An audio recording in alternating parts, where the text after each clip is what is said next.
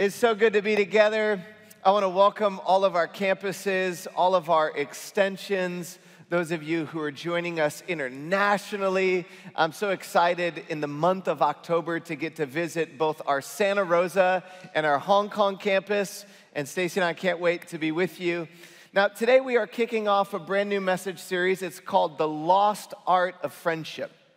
And I was reading an article this last week. It was written by a guy named David Brooks. And it was a fascinating article because in the article, he talked about this longitudinal study of children, small children, six, seven, eight years old, uh, who were born into neighborhoods of poverty. And they took this small group of students or kids and they studied them over a decade, two decades, and they put them in two different groups. And one group of people, one group of kids, was put into a group uh, with people beyond or in different socioeconomic classes. So these kids were in poverty connected to people outside their socioeconomic class.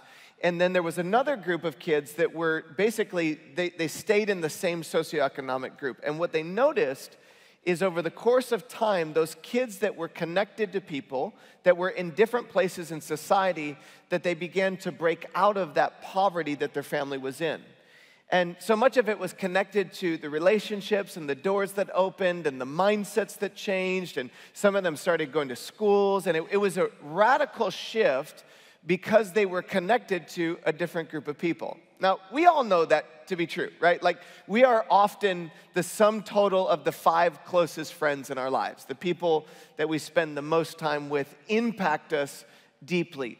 And studies show us that when it comes to friendship, when we're in friendship with one another in meaningful quality relationships, it leads to a longer life, it leads to a happier life, it leads to lower stress, it leads to greater fulfillment. It is inside of us in friendship, there's this longing for community because when we experience life that way, it's the way that God intended for life to be, and life is way better when we're in community.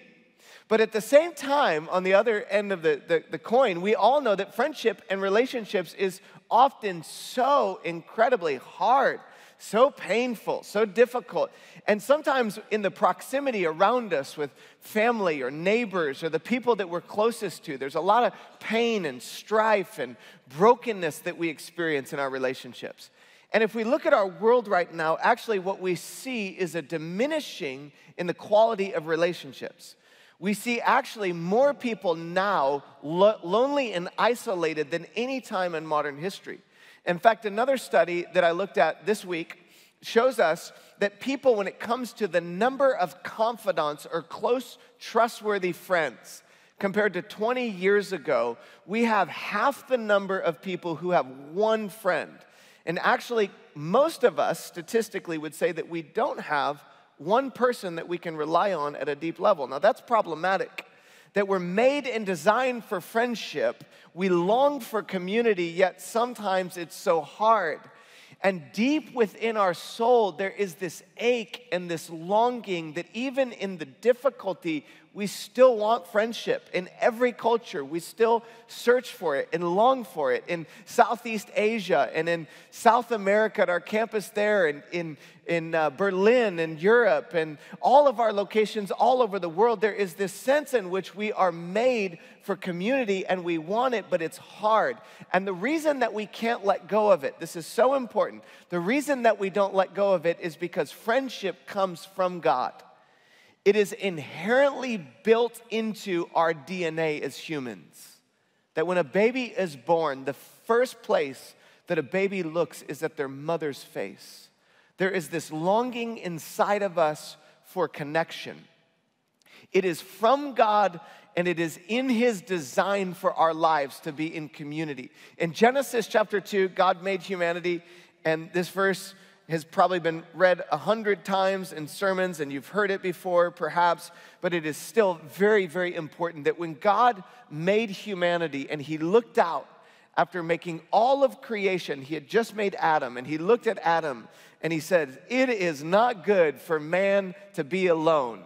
And I think I should get an amen at that point for some, from some men. It is not good. Maybe a wife would say, it's not good for a man to be alone because they make problems. It is not good for man to be alone. I will make a helper who is just right for Him. So God designed us from the beginning for friendship. But in our fallen world, in the brokenness of our relationships, there's so much pain, and friendship is so hard. And in our culture now, it's so much more difficult. Like, if you look back over the course of your last week and you think about how many times you were with people that you're supposed to be connecting with, and your face is staring at a device, or you think about so many people around you that perhaps in their life it seems like their relationships are amazing, and they post these pictures online what everybody in their family is wearing the same color outfit and all their kids are smiling and your kids are fist fighting before you take a picture. It's never happened in my family, but I'm sure it does in yours.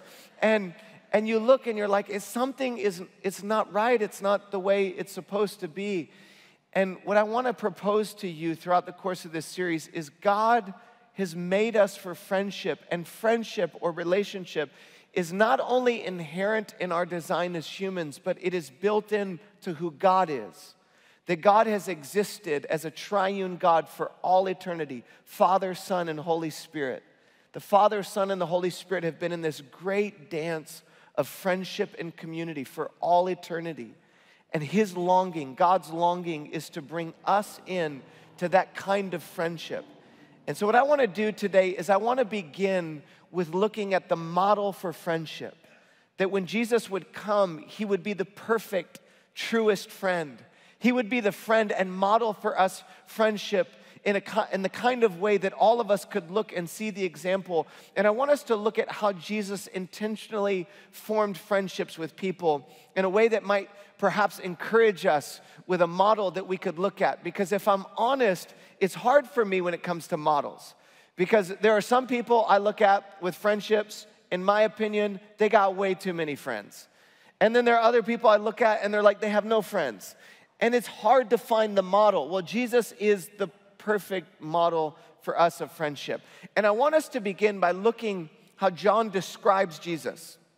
He says, The Word, Jesus, became human and made his home among us. He was full of unfailing love and faithfulness and we have seen his glory, the glory of the Father's one and only Son. So when Jesus would come, he would come in the fullness of the glory of the Father. He would take on human skin. The Father would send the Son to planet Earth, and God would become one of us. So God wrote himself into the story, and he wrote himself into the story not to start a religion. Jesus wrote himself into the story to invite us into community with the triune God for friendship. At the core of Jesus coming to planet Earth was for friendship. It was so that we would know and experience his heart. And Jesus, at the end of his ministry, is looking with this small group of people, often known as his disciples, and he would look at them after training them as a, as a teacher or a rabbi. At the end of his ministry, he would say to these 12 disciples of his, He says, I no longer call you slaves because a master doesn't confide in his slaves, but now you are my friends. Could you imagine what that would have been like to be with Jesus? as he looks at these, these men and women and he says, Now we're, we're friends. You've become one of my friends. And since I've told you everything the Father told me, you're my friend. And notice this line you did not choose me, I chose you. If you're taking notes, I want to encourage you underline or highlight in your digital notes. Just highlight that phrase that says, You didn't choose me, I chose you. Because Jesus is saying every relationship, every friendship that God has with anyone is always initiated by God. He's always the one that took the first step. Psalm 23, verse 6 says that your goodness and mercy has been following me, chasing after me my entire life. And this truth, Jesus is saying, I chose you guys to be my friends. And he says, Now I'm appointing you to go produce lasting fruit. So the Father will give you whatever you ask for using my name. This is my command. This is the focus of the life of a Jesus follower it's to love each other. And the first component I want us to see of Jesus modeling is intentionality. That Jesus modeled for us how to be intentional in friendship, how to be intentional in relationship. And the way that Jesus modeled this kind of intentionality is by Him taking the first step towards us, that He would leave the glory and comfort of heaven. He would take on human skin to be in friendship with us. He was intentional to build relationship, to build community, so that we could know the heart of God. And the invitation for those who follow Jesus is to become the kind of people that are intentional wherever we go. That we're intentional in marriage, in our relationships, and we're intentional with our children as we're raising them. And for those who are students, we're, we're forming friendships in a way that we're intentional. And the opposite of intentionality is just basically to slowly drift into nothingness, to drift into no connection, no relationship. And there's this pull away from community because of technology, because of the brokenness in our world. But intentionality is simply bringing back to center in proximity that I have to other people to be more intentional with those that I'm in proximity to. Now, let me explain it like this. Um, I had a friend who went on a boat to a place called Catalina Island. And those who are in Southern California know this place, but for our interna- international audience, there's an island about 22 miles off the coast of California called Catalina Island. And my friend was saying that when he got off of the boat, he looked at the small radar, and there was a little squiggly line that showed how the boat had traveled to Catalina Island. And what he thought was so fascinating was the line was actually not a straight line from the coast to Catalina Island, it was a line like this. And he looked at the person who was like leading the trip and was like, Well, did, did you take us on a detour? And the person who was driving the boat said, No, actually, the boat is constantly course correcting. And you might not feel it, but it's constantly coming back to the destination. That's why we ended up at Catalina Island, not in the middle of nowhere between here and Hawaii because we course corrected along the way. Statistics show us actually, if you got in an airplane and left New York City and came to LA, if you were one degree off, you would end up 40 miles outside of LA, and when you land your airplane, you would land in the ocean. So, one degree makes a huge difference. And intentionality is simply in the community, the relationships that I'm in, is being more intentional so, the way I think of this and the way it's fleshing up for me is when I'm driving down the road with my kids, it's hard with teenage boys to get more than a sentence out of them. But man, I'll ask a question. They can make any open ended question a one word response. It's unbelievable.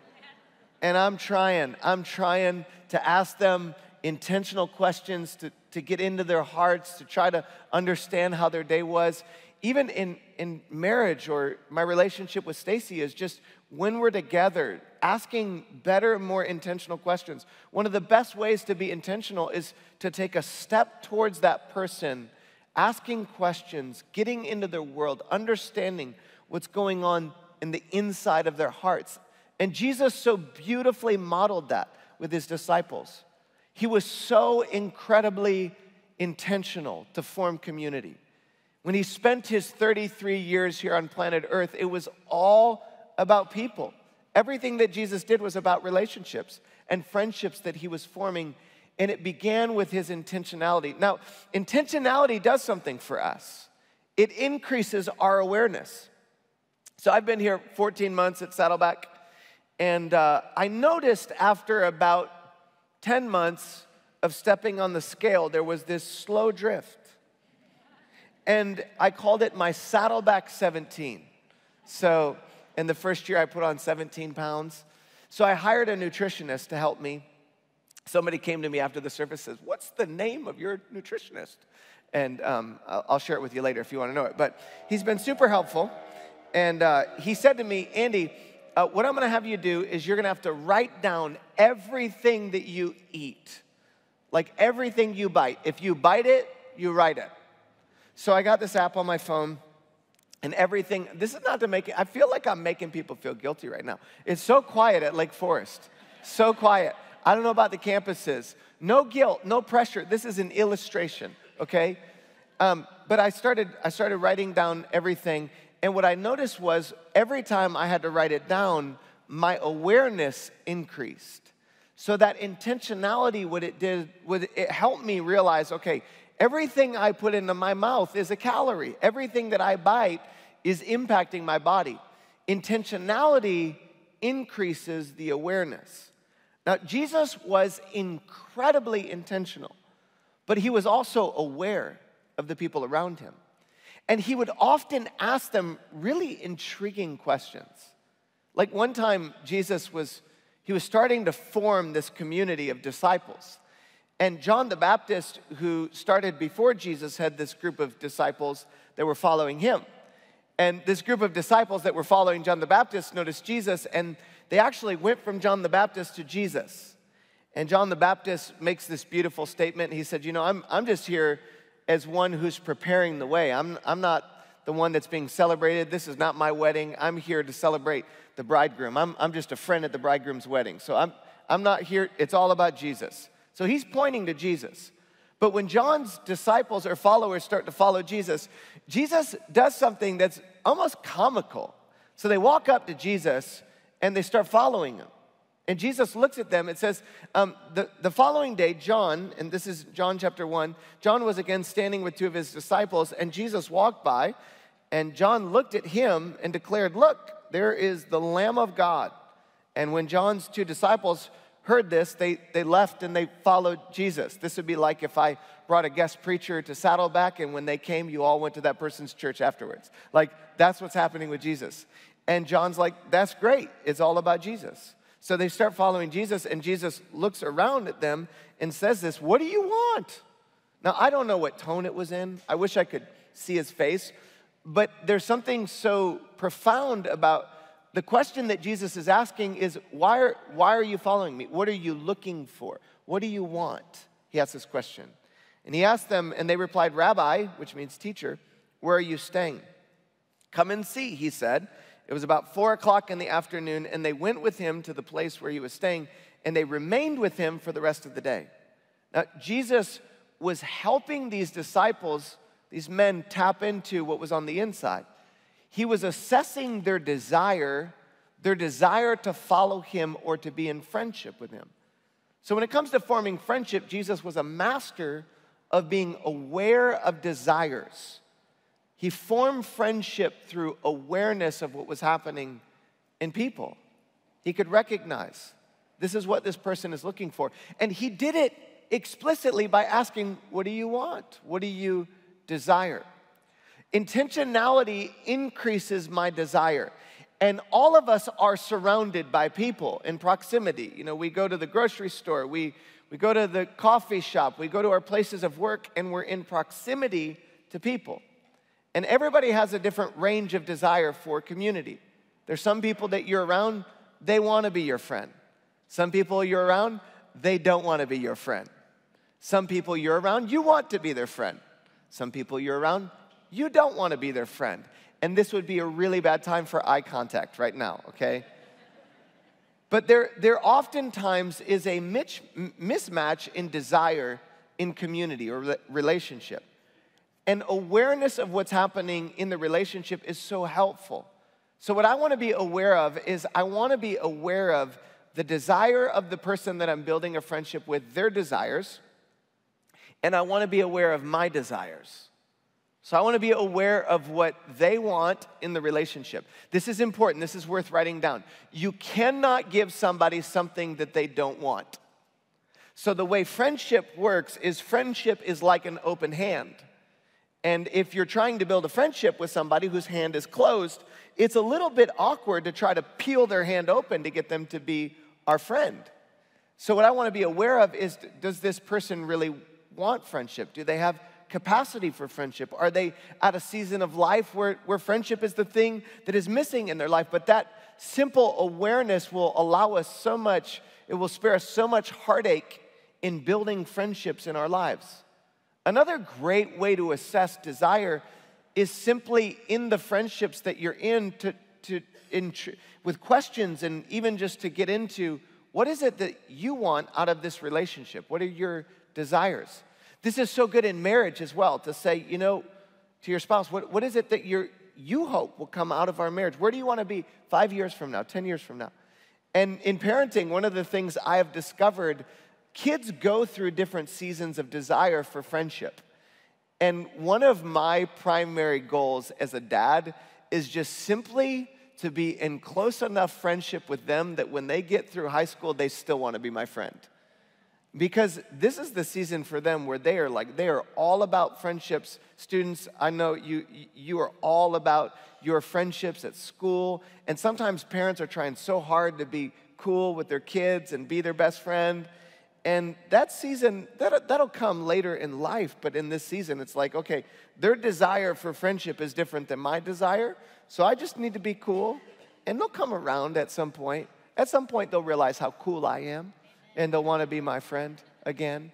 I'm believing it by faith. So, but what I want to do is follow Jesus' model for how Jesus assessed people's desire for friendship, to assess desire for friendship.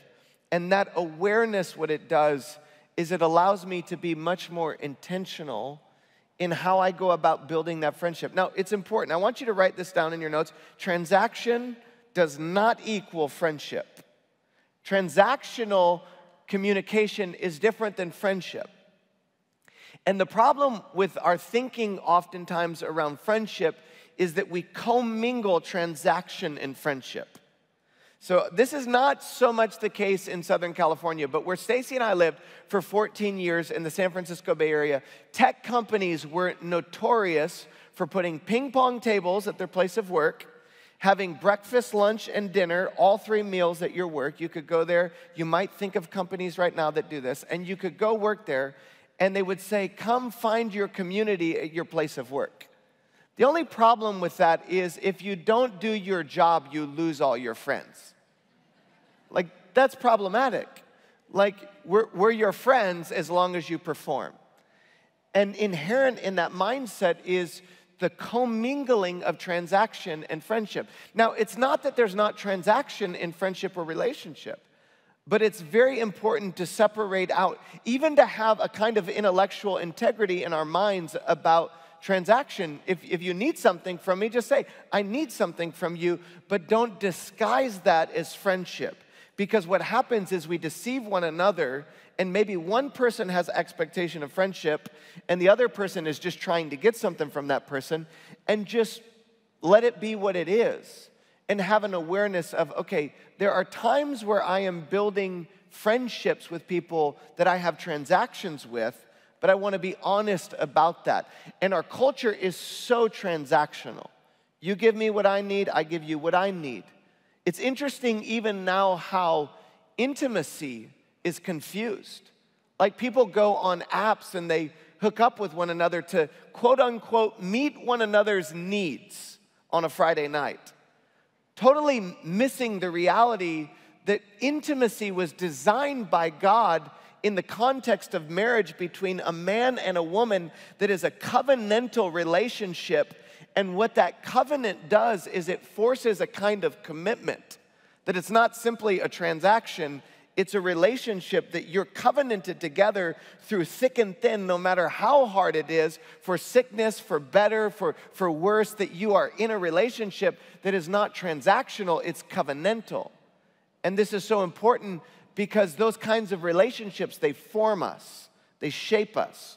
So if my relationship or my community is only based upon what you can do for me, and then you don't do for me what I want from you, then I'm never formed into the image of Jesus. Jesus would form relationships with people, and he would commit himself to us to the point of death to dying on a cross for the sins of the world. That's the example of relationship that Jesus is giving to us. And what I'm encouraging us to do is to separate out transaction from relationship and to understand that relationship involves a significant level of commitment. Now, one of the best ways to form commitment is to start where you are, to start in the relationships that we're in. And I can think of no better way to begin this process than to be connected into a small group. Because what happens in a small group is that you get in proximity around people who say, I, I want friendship, I want community, I, I want to do life with some other people. I'm isolated. I need some people to support me. And what our team is doing right now is we've worked so hard to put together some resources to help us all journey together in community in small groups. And actually, this book called Rediscovering the Lost Art of Friendship, our Saddleback team wrote this book in connection with the messages. And each week, as we go through a different part of friendship, this book will journey together with the messages. And the way to get into this is to be a part of a small group. Now, all of our campuses this weekend are la- launching literally dozens and dozens of small groups, some hundreds of small groups. And I want to encourage you, if you're not connected into community in a small group, that you can take that step this weekend to get in a small group. All of our campuses on the patio at the Connection Center, they have resources, uh, all that you need to get connected into a small group. You can also get this book online. You can order it if you just search it on Amazon, but not while I'm speaking or preaching. Get it later. But this book, you can journey together in a small group. You can take the step to get in a small group. Some of you, maybe you're like, okay, I'm, I'm, I'm a little bit nervous about being in a group with people I don't know. You can start and host your own small group.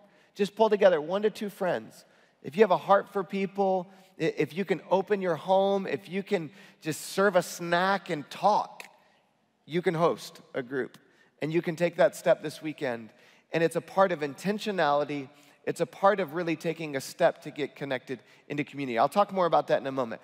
But what happens when I am aware is that awareness in relationship personally helps me start to come to grips with my limitations. Now, let me explain what I mean by this. The more aware I am of my surroundings and my relationships, the more I come to grips with the fact that I am limited in my ability to build friendships. I'm limited in the number of friendships that I can actually have. And Jesus, you would think, God in human flesh would have had a limitless number of friendships while he was here. But Jesus, when God came to us, he was selective. He chose a few that he would invest his life deeply in. And that's the last part I want to finish with is to be selective. Now, this might seem so unkind to say, I'm going to be selective in my friendships. But because of our limitations as humans, we cannot have hundreds and hundreds of friends. A connection online is not the same as friendship. Friendship is where we literally do life together. And Jesus modeled for us different numbers of people. In fact, in Luke 10, verse 1, I want you to look at these verses with me. It says, After this, the Lord, talking of Jesus, appointed 72 others and sent them two by two ahead of him to every town and place where he was about to go. So, Jesus, when he was here on planet Earth, he had 72 people that he sent them into ministry. But in addition to the 72, behind that was a group of 12. And notice the difference. Now, he sent 72, but with the 12, it was different. He appointed 12. Now, notice the 12. He appointed the 12 that they might be with him and that he might send them out to preach. So he sent them out, but he did life with them in a way that was different than the 72. So Jesus had a smaller group of people, a 12, that he did life with, and then he would send them out to preach. And then in Mark 14, I want briefly just to look at this moment where Jesus is in the Garden of Gethsemane and he is facing the cross, knowing that he's going to die for the sins of the world. He's begging his heavenly Father, if there's any other way, to let this cup of suffering pass. Let it be so. And as he's praying this, notice in Mark 14, he took with him Peter, James, and John, and he began to be deeply distressed and troubled. And he said, My soul is overwhelmed with sorrow to the point of death. And he said to them, Stay here and keep watch. See, Jesus loved the crowds, but he chose a few close friends to bare his soul to. Jesus had Peter, James, and John. He wasn't telling the 72, I'm overwhelmed to the point of death. He had three friends that he did life with at a deeper level. And if Jesus relied upon people when he was here, it's so fascinating to think about God in human flesh still relying on Peter, James, and John in his moment of deep need. And what Jesus so beautifully did was, as he was fully God, he was also fully man. And somehow he embraced his humanity within his divinity. And you and I, we're, we, we're, we're not gods. I don't know if you know that or not. We, we're, we are fully human, but we are not fully God. And we are limited in our humanity, and we can lean into this invitation. And the model of Jesus, he so beautifully shows us that you can embrace your relational limitations. And your embracing of your relational limitations is an act of love.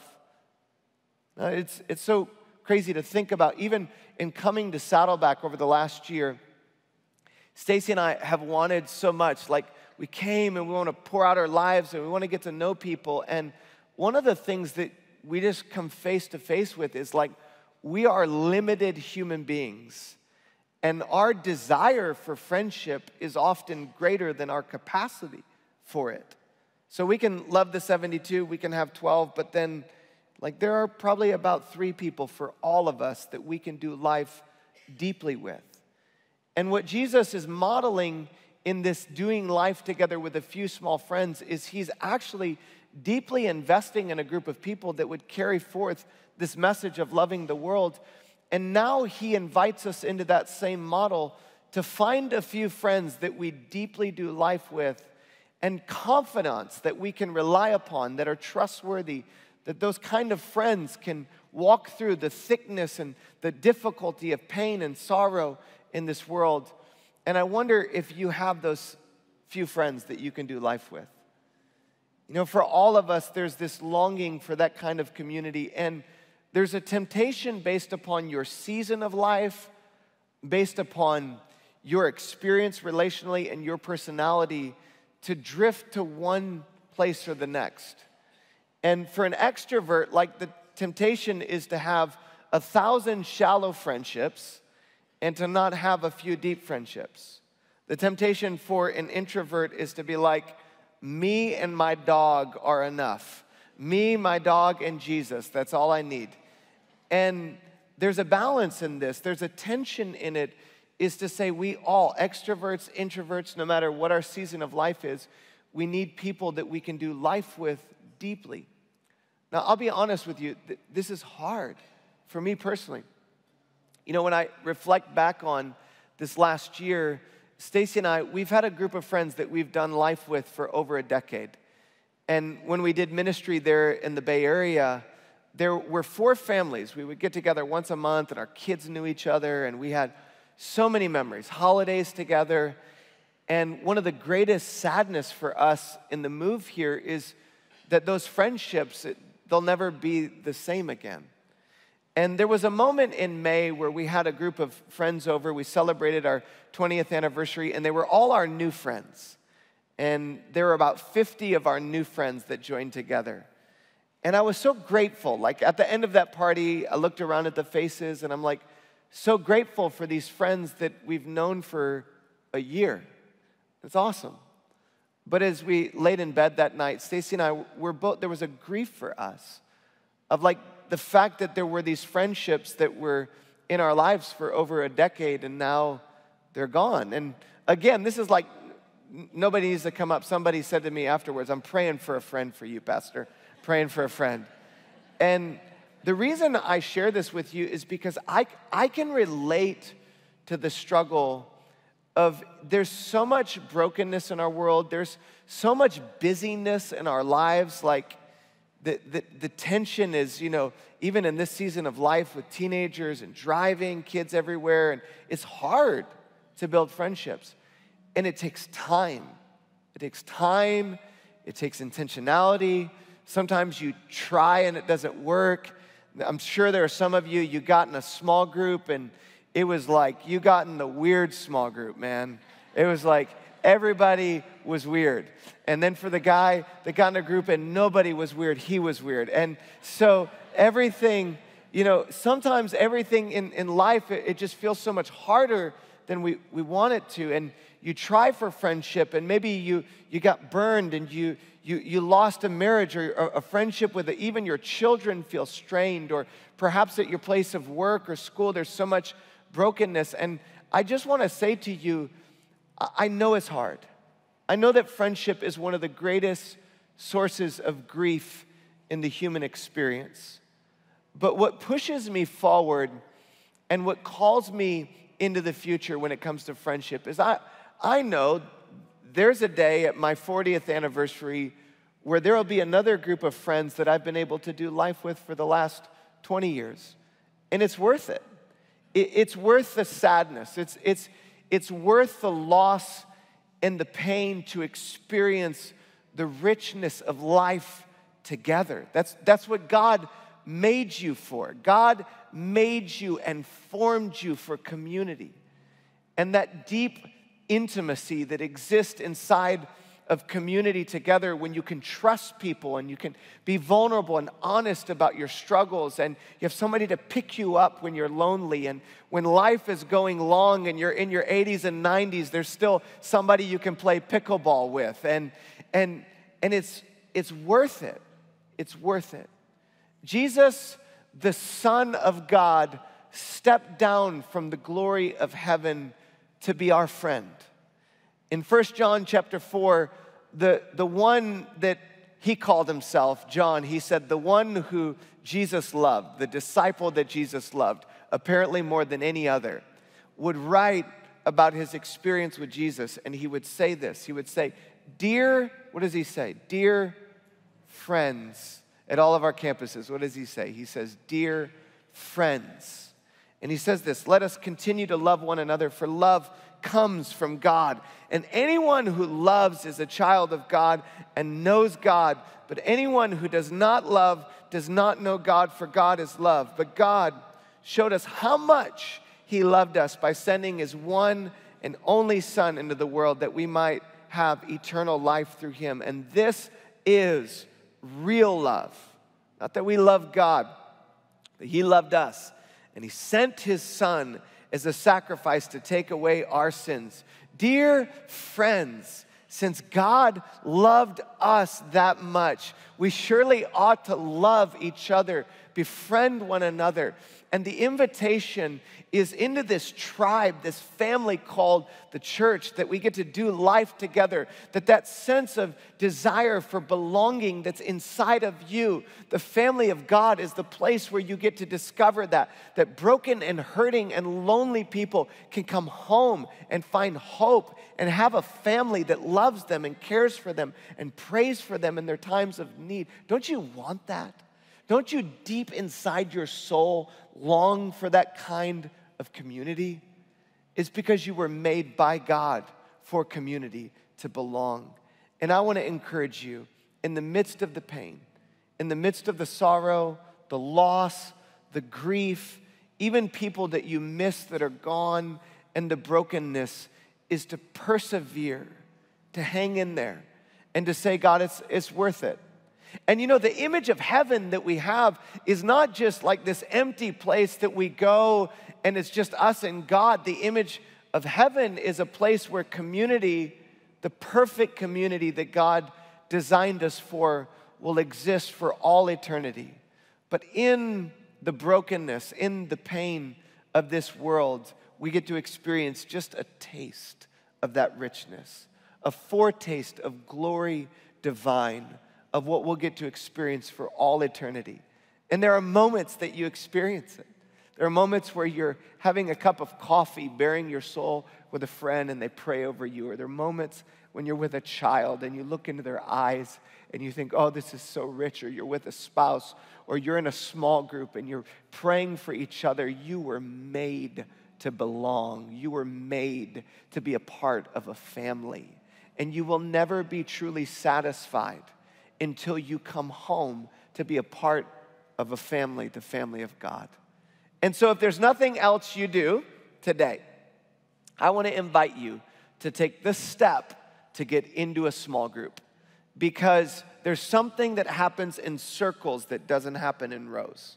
There's something that happens in a small group of community of people together that's not gonna happen in a worship service. We love worship services at Saddleback. We love to sing, we love the messages, at least I do. And we, we love to be together in large groups, but it's in a small group when we're committed to each other that we experience the depth of life change that God wants us to have and the richness of community that God designed us for. Let's pray together. Father, thank you that you've designed us to be a part of a family. And God, I know that there are people that have come to listen to this message at all of our campuses. They drove in a car by themselves and they are so lonely right now. And God, they're right next to some of their very best future friends.